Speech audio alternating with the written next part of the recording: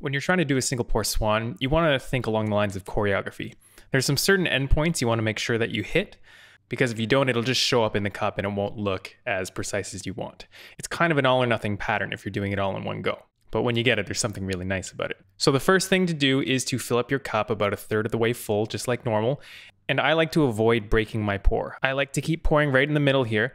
And then once I see my contrast, I immediately push to my first endpoint, which is right around here at the front edge of the cup. So as I see contrast, I'm gonna do my wiggle all the way up front here. And then I don't wanna linger here. You generally don't wanna linger anywhere in this pattern.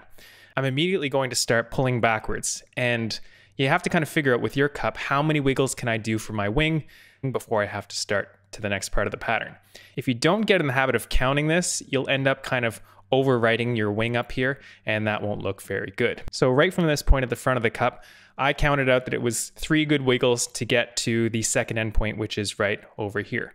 So I would count about one, two, three. And then at this point, when I'm on the outside of my wing, this is when I start to pull up because it takes a little while to get your jug up in the air.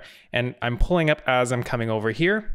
And then at this point, I'm high up in the cup and I want to start to drag along the wing. So this line that I've just traced along, this should be the natural line store formed by the bit of Rosetta pattern that you've started to pour by now.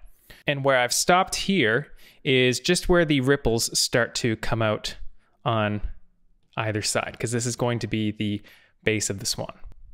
Now, a lot has gone on by this point, and you tend to want to linger right here. But if you stay too long here and try and take a break, you're going to find that the belly of the swan just gets kind of fat. So don't stay too long here. Just stay for a brief pause and then immediately bring up with your neck and then do a little heart pattern right here.